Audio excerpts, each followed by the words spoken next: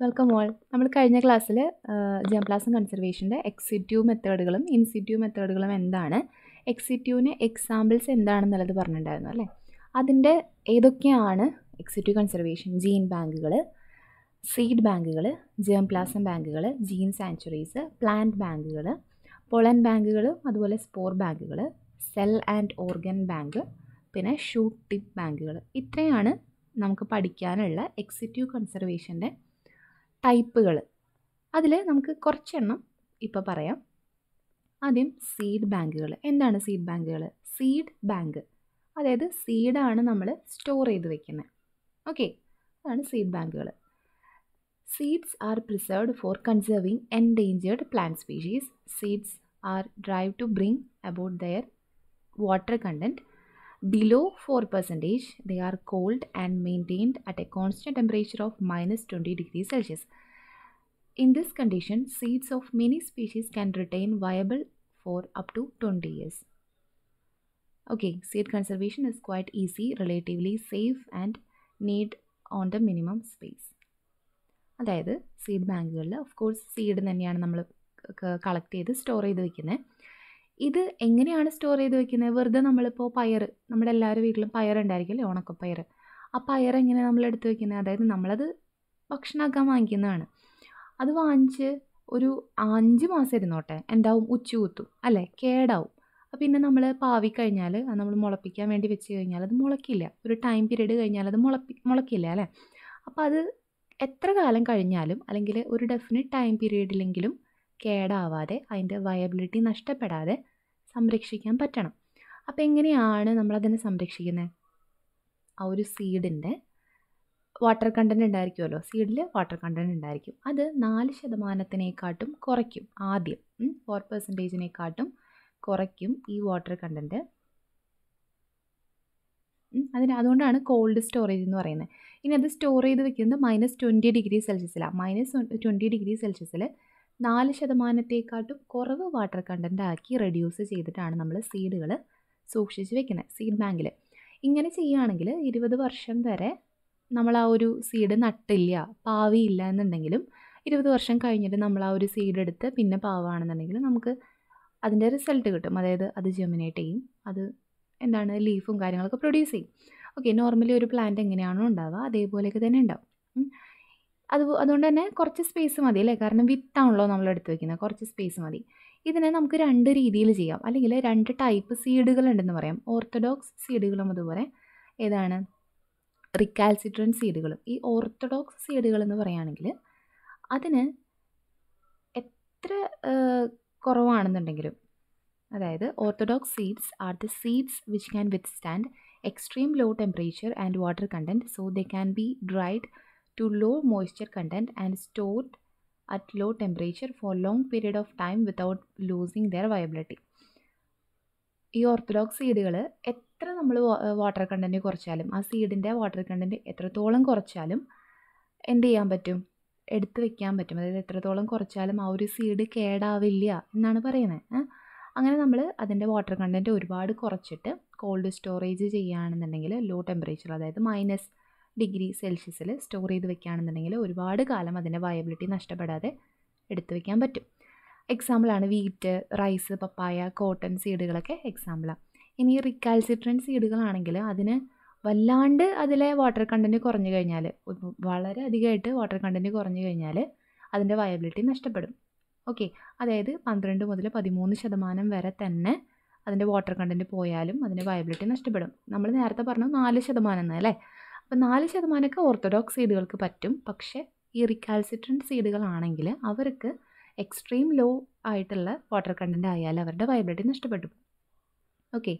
Seeds which shows very drastic loss in viability with a decrease in moisture content to below twelve to thirty percentage so that can be killed by freezing temperature. എക്സാമ്പിളാണ് citrus coffee അതുപോലെ rubber mango ഒക്കെ എക്സാമ്പിളാണ് ആ സീഡുകളൊക്കെ. എക്സാമ്പിളാണ് ഇനി cold storage duration നമുക്ക് എത്ര കാലത്തേക്കാണ് എത്ര കാലയളവിലേക്കാണ് സീഡ് സ്റ്റോർ ചെയ്ത് വെക്കേണ്ടത് എന്നുള്ളതിന്റെ ബേസിൽ മൂന്നായിട്ട് ഡിവൈഡ് ചെയ്തിട്ടുണ്ട്. ബേസ് കളക്ഷൻ ആക്റ്റീവ് കളക്ഷൻ അതുപോലെ വർക്കിംഗ് കളക്ഷൻ കളക്ഷൻ കേട്ടോ കളക്ഷൻ ബേസ് കളക്ഷൻ എന്ന് പറയുകയാണെങ്കിൽ അതാണ് ഏറ്റവും കൂടുതൽ കാലത്തേക്ക് വേണ്ടിയിട്ട് നമ്മൾ കൺസർവ് ചെയ്ത് വെക്കുന്നത്. Conserve for long period of time fifty to hundred years. അമ്പത് മുതൽ നൂറ് വരെ വർഷത്തേക്ക് വേണ്ടിയിട്ടാണ് നമ്മൾ ഈ ഒരു കൺസർവേഷൻ മെത്തേഡ് യൂസ് ചെയ്യുന്നത് only used for regeneration minus twenty degree celsius with five percentage moisture content minus twenty degree സെൽഷ്യസിൽ അഞ്ച് ശതമാനം മാത്രം മോയ്സ്ചർ കണ്ടന്റിലാണ് സ്റ്റോർ ചെയ്ത് വെക്കുന്നത് ഇനി ആക്റ്റീവ് കളക്ഷൻ ആകുമ്പോൾ അത് പത്ത് മുതൽ പതിനഞ്ച് വർഷത്തേക്ക് വരെയുള്ള സ്റ്റോറേജ് ആയിരിക്കും. എന്തിനു വേണ്ടിയിട്ടാണ് ഇങ്ങനെ സ്റ്റോർ ചെയ്ത് വെക്കുന്ന? Evaluation multiplication and for distribution ഇതിൽ moisture content five to eight percentage ആണ്. സീറോ ഡിഗ്രി സെൽഷ്യസിലാണ് സൂക്ഷിച്ച് വയ്ക്കുക ഇനി വർക്കിംഗ് കളക്ഷൻ ആകുമ്പോൾ മൂന്ന് മുതൽ അഞ്ച് വർഷം വരെയൊക്കെയാണ് നമ്മൾ ഇടയ്ക്കിടയ്ക്ക് എടുത്ത് യൂസ് ചെയ്യുന്ന സീഡുകളായിരിക്കും such seeds are regularly used in crop improvement programs five to ten degree സെൽഷ്യസിലാണ് store ചെയ്ത് വെക്കുക ടെൻ പെർസെന്റേജ് മോയ്സ്ചർ കണ്ടന്റ് ആയിരിക്കും. ഓക്കെ മൂന്ന് ടൈപ്പ് ഉണ്ട്. മൂന്നും പഠിച്ചു വെക്കുക base collection active collection working collection ഇനി അടുത്തത് ജീൻ ബാങ്കുകൾ ഇതിലെന്തായിരിക്കും സ്റ്റോർ ചെയ്ത് വെക്കുന്നത്? ജീൻ ആയിരിക്കും അല്ലേ? Collection of D N A samples together with a sample of somatic material of organism D N A സാമ്പിളും somatic മെറ്റീരിയലും സൊമാറ്റിക് മെറ്റീരിയൽ എന്ന് പറഞ്ഞാൽ എന്താണ്? അതിന്റെ സെല്ലിൽ എന്ത് മെറ്റീരിയൽ ഉണ്ടോ എന്തൊക്കെയുണ്ടോ അതെല്ലാം നമ്മൾ സ്റ്റോർ ചെയ്ത് വെക്കുന്നത്. ഡി എൻ എ മാത്രമല്ല. Materials from endangered wild plants and cultivars are stored in a viable form endangered ആയിട്ടുള്ളതും അതുപോലെ വൈൽഡ് ആയിട്ടുള്ളതും ആയിട്ടുള്ള പ്ലാന്റിന്റെ മെറ്റീരിയലിനെ നമുക്കിങ്ങനെ സ്റ്റോർ ചെയ്ത് വെക്കാം. Gene banks reserve the stock of both seeds and vegetative material സീഡുകളുടെയും അതേപോലെ തന്നെ വെജിറ്റേറ്റീവ് മെറ്റീരിയൽസിന്റെയും സ്റ്റോർ ചെയ്ത് വെക്കാറുണ്ട്. The store is genetic information can be called upon or retrieved when required ഇതിന് നമുക്ക് ഒരുപാട് കാലത്തേക്ക് എടുത്തു വയ്ക്കാം അതായത് ജനറ്റിക് ഇൻഫർമേഷൻ ആയിട്ട് യൂസ് ചെയ്യാം. അതേപോലെ തന്നെ എപ്പോഴാണോ നമുക്ക് ആ ഒരു ക്യാരക്ടർ വേണ്ടത് എന്നുണ്ടെങ്കിൽ ആ സമയത്ത് നമുക്ക് തിരിച്ചെടുക്കുകയും ചെയ്യാം.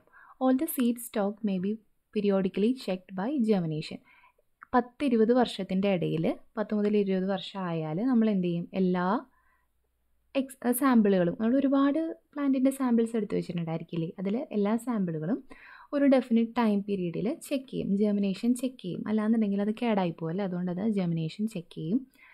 പിന്നെ സ്റ്റോർ ചെയ്ത് വെക്കുന്നത് സീറോ ഡിഗ്രിനെക്കാട്ടും കുറവില്ല അതായത് minus ten to minus twenty degree സെൽഷ്യസിലാണ് store ചെയ്ത് വെക്കുക. ഫോർ പെർസെന്റേജ് മോയ്സ്ചർ കണ്ടന്റ് ആയിരിക്കും ഉണ്ടായിരിക്കുക. ക്ലിയർ അല്ലേ? ഇനി ഇന്ത്യയിലെ കുറച്ച് ജീൻ ബാങ്കുകളാണ് പറയുന്നത്. ഇന്ത്യയിലെ കുറച്ച് ജീൻ ബാങ്കുകൾ. അത് പഠിച്ചു വെച്ചോളൂ കേട്ടോ. നാലെണ്ണേ ഉള്ളൂ. National bureau of plant genetic resource. ന്യൂഡൽഹിയിലാണുള്ളത് അവിടെ ക്രോപ്പ് പ്ലാന്റുകളും അതുപോലെ മെഡിസിനൽ പ്ലാന്റ്സിനൊക്കെയാണ് സൂക്ഷിച്ച് വെച്ചിട്ടുള്ളത്. അതായത് അവരുടെ gene D N A materials somatic cell materials ഒക്കെയാണ് കളക്ട് ചെയ്ത് വെച്ചിട്ടുള്ളത്. ഇനി അടുത്തത് tropical botanical garden and research institute. അത് പാലോട് നമ്മുടെ തിരുവനന്തപുരത്ത് പാലോടാണുള്ളത്. മെഡിസിനൽ പ്ലാന്റുകൾക്കും സ്പൈസസിനും വേണ്ടിയിട്ടാണുള്ളത്. ഇനി central institute for medical and aromatic plants ലക്നൗവിൽ for medicinal plants and spices പിന്നെ സെൻട്രൽ ഡ്രഗ് റിസർച്ച് ഇൻസ്റ്റിറ്റ്യൂട്ട് അതും ലക്നൗവിൽ തന്നെയാണ്. എക്സ്പെരിമെന്റൽ ആനിമൽസിനെ അതിന്റെ ജീൻസ് എടുത്തു വയ്ക്കുന്നതാണ് അവിടെ. അപ്പോൾ നാലെണ്ണം ഉണ്ട് പഠിക്കുക. പേര് എന്തായാലും പഠിച്ചിരിക്കുക. National bureau of plant genetic resource tropical botanical garden and research institute central institute for medical and aromatic plants അതുപോലെ സെൻട്രൽ ഡ്രഗ് ഡിസ് റിസർച്ച് ഇൻസ്റ്റിറ്റ്യൂട്ട് ഓക്കെ ഈ നാലെണ്ണം പഠിച്ചു വയ്ക്കുക ജീൻ ബാങ്ക് എന്താണെന്ന് മനസ്സിലായില്ലേ ഇപ്പോൾ ഇനി ഷൂ ടിപ്പ് ബാങ്കുകൾ germplasm is conserved as slow growing cultures of shoot tips and meristem meristem segments meristem segments okay. ഇതിന്റെ അഡ്വാന്റേജസ് അതായത് ഷൂട്ട് ടിപ്പ് എന്ന് പറഞ്ഞാൽ നിങ്ങൾക്ക് അറിയാലോ നമ്മുടെ മെരിസ്റ്റമാറ്റിക് സെല്ലുകൾ മെരിസ്റ്റം കൾച്ചറൊക്കെ നമ്മൾ പഠിച്ചിട്ടില്ലേ? അത് അതന്നെ. അതായത് ഷൂട്ട് ടിപ്പ് എടുത്തു വയ്ക്കുന്നതാണ് ഷൂട്ട് ടിപ്പ് ബാങ്കുകൾ അതിന്റെ അഡ്വാന്റേജസ് ആണ് genotype can be കൺസ് conserved indefinitely free from virus or pathogens നമ്മൾ പഠിച്ചില്ലേ ഈ ഷൂട്ട് ടിപ്പ് അല്ലെങ്കിൽ മെരിസ്റ്റം കൾച്ചർ അതിന്റെ ഒരു അഡ്വാന്റേജ് ആയിരുന്നു. പാത്തജൻസിൽ എന്ത് ചെയ്യാൻ പറ്റും? പാത്തജൻസ് ഒന്നും അറ്റാക്ക് ചെയ്യാത്ത വൈറസ് അറ്റാക്കുകളൊന്നും ഇല്ലാത്ത വെറൈറ്റീസ് നമുക്ക് ഉണ്ടാക്കിയെടുക്കാൻ പറ്റുന്നു കാരണം എന്താ? ഈ മെരിസ്റ്റം എന്ന് പറയുന്നത് എപ്പോഴും ഗ്രോ ചെയ്തുകൊണ്ടിരിക്കുന്ന എപ്പോഴും മൾട്ടിപ്ലൈ ചെയ്തുകൊണ്ടിരിക്കുന്ന അല്ലേ? അതുകൊണ്ട് തന്നെ അവിടെ വൈറസ് അറ്റാക്കുകളോ കാര്യങ്ങളോ കേടുകളോ ഒന്നും ഉണ്ടായിരിക്കില്ല. ആ ഒരു ഐഡിയ ആണ് ഇവിടെ ഉപയോഗപ്പെടുത്തുന്നത്. അപ്പോൾ ഷൂട്ട് ടിപ്പാണ് നമ്മൾ കൾച്ചർ ചെയ്യുന്നതെങ്കിൽ വൈറസ് അറ്റാക്ക് ഉണ്ടാക്കില്ലെങ്കിൽ ഷൂട്ട് ടിപ്പ് എടുത്ത് വെക്കുന്നതാണെങ്കിൽ നമ്മൾ പിന്നെ അതിൽ നിന്ന് എടുക്കുകയാണെങ്കിലും അതിന് പ്രശ്നങ്ങളൊന്നും ഉണ്ടായിരിക്കില്ല. Meristem culture ad advantages for vegetatively propagated crops like potato sweet potato tapioca etcetera ഇതിനൊക്കെയാണ് use ചെയ്യുന്നത്. പൊട്ടറ്റോ ഉണ്ട് സ്വീറ്റ് പൊട്ടറ്റോ ഉണ്ട് ടാപ്പിയോക്ക മുതലായിട്ടുള്ള പ്ലാന്റുകൾ അതായത് സീഡ് ഇല്ലാതെ വെജിറ്റേറ്റീവ് പാർട്ടുകളാണ് ഇതിനൊക്കെ നമ്മൾ കൾച്ചർ ഉപയോഗിക്കുന്നത് അല്ലേ? ടാപ്പിയോക്കയ്ക്ക് കപ്പയ്ക്കാണെങ്കിൽ എന്താ ചെയ്യുക? കൊള്ളിക്കാണെങ്കിൽ കൊള്ളിത്തണ്ടായിരിക്കും. പൊട്ടറ്റോ ആണെങ്കിൽ അതിന്റെ ആ കിഴങ്ങായിരിക്കും. സ്വീറ്റ് പൊട്ടറ്റോ ആണെങ്കിലും കിഴങ്ങ് തന്നെയായിരിക്കും. അല്ലെങ്കിൽ വള്ളിയൊക്കെ ആയിരിക്കും നമ്മൾ യൂസ് ചെയ്യുന്നത് അല്ലേ? അതിന്റെ സ്റ്റെം ആയിരിക്കും യൂസ് ചെയ്യുന്നത്. അപ്പോൾ പ്രൊപ്പഗേഷൻ സീഡ് പ്രൊപ്പഗേഷൻ കുറവായിട്ടുള്ള ക്രോപ്പ് പ്ലാന്റുകളൊക്കെ നമുക്ക് ഇങ്ങനെ സ്റ്റോർ ചെയ്ത് വെക്കാം. Long germination cycle can be envisaged from meristem culture plant species having recalcitrant seeds can be easily conserved regeneration of meristem is very easy okay meristem കൾച്ചറിൽ നമ്മൾ പറഞ്ഞിട്ടുണ്ടായിരുന്ന advantages തന്നെയാണ് ഇവിടെയുള്ള അഡ്വാന്റേജസ് ഇനി ജീൻ സാഞ്ച്വറീസ് ജീൻ സാഞ്ച്വറീസ് എന്ന് പറഞ്ഞാൽ is an area of biodiversity protected from human interference നാച്ചുറലായിട്ട് ഉള്ളതാണ്. അതായത് ആ ഒരു ഭാഗത്ത് നമ്മൾ എന്ത് ചെയ്യാണ്? ഹ്യൂമൻ ആക്ടിവിറ്റീസ് ഇല്ലാതെ മനുഷ്യന്റെ കൈകടത്തലില്ലാതെ പ്രൊട്ടക്റ്റ് ചെയ്യുന്ന ഏരിയാസ് ആയിരിക്കും. It conserve germplasm in situ in an area where it's naturally existed എവിടെയാണോ ഉള്ളത് അവിടെ തന്നെയാണ് സൂക്ഷിച്ചു വയ്ക്കുന്നത് കൾട്ടിവ സച്ച് ആസ് മ്യൂസ സിട്രസ് സാക്കറം പോലെയുള്ള അതായത് കരിമ്പ് സിട്രസ് പോലെയുള്ള പ്ലാന്റുകളൊക്കെയാണ് ഇങ്ങനെ സൂക്ഷിച്ച് വയ്ക്കാറുള്ളത് ഇനി പൊളൻ ബാങ്കുകളും സ്പോർ ബാങ്കുകളും ഉണ്ട്. This is the cryopreservation of pollens of flowering plants and the spores from non flowering plants in small containers എന്നാണ് ക്രയോ പ്രിസർവേഷൻ എന്ന് പറഞ്ഞാലേ? മൈനസ് വൺ നയന്റി സിക്സ് ഡിഗ്രിയിൽ ലിക്വിഡ് നൈട്രജനിൽ സ്റ്റോർ ചെയ്ത് വെക്കുന്നതിനെയാണ് നമ്മൾ ക്രയോ പ്രിസർവേഷൻ എന്ന് പറയാം. നമുക്ക് അടുത്ത ക്ലാസ്സിൽ ഇതിനെക്കുറിച്ച് പറയാം. അപ്പോൾ എന്തായാലും ഓർത്ത് വെക്കുക. നിങ്ങൾ പഠിച്ചിട്ടുള്ളത് തന്നെയായിരിക്കും ക്രയോ പ്രിസർവേഷൻ ക്രയോ പ്രിസർവേഷനാണ് ഈ പൊളൻ ബാങ്കുകളും സ്പോർ ബാങ്കുകളിലും യൂസ് ചെയ്യുന്നത്. ഫ്ലവറിങ് പ്ലാന്റ്സ് ആണെങ്കിൽ അതിന് പൊളൻസ് ഉണ്ടായിരിക്കും. ഇനി നോൺ ഫ്ലവറിങ് പ്ലാന്റ്സ് ആണെങ്കിൽ പൊളൻസ് ഉണ്ടായിരിക്കില്ല. പകരം സ്പോറുകളായിരിക്കും ഉണ്ടായിരിക്കുക. അപ്പോൾ അതിനെയായിരിക്കും അവിടെ സ്റ്റോർ ചെയ്ത് വെക്കുന്നത്. ഇനി freeze drying technique are commonly applied by combining freezing and drying processes in a quite single process ഫ്രീസിങ്ങും ഡ്രൈയിങ്ങും ഒരുമിച്ച് തന്നെ. അതായത് ഡ്രൈ ചെയ്തിട്ട് വാട്ടർ കണ്ടന്റ് നന്നായി കുറച്ചിട്ട് എന്ത് ചെയ്യാണ്? ഈ minus one ninety six degree സെൽഷ്യസിൽ liquid നൈട്രജനിലാണ് കൂടുതലായിട്ടും സ്റ്റോർ ചെയ്ത് വെക്കുന്നത് ഓക്കെ അപ്പോൾ നമ്മൾ കുറച്ച് കൺസർവേഷൻ മെത്തേഡുകൾ പറഞ്ഞു. ബാക്കി കുറച്ചെണ്ണം കൂടി ഉണ്ട്. നമുക്ക് അടുത്ത ക്ലാസ്സിൽ നോക്കാം. ഓക്കെ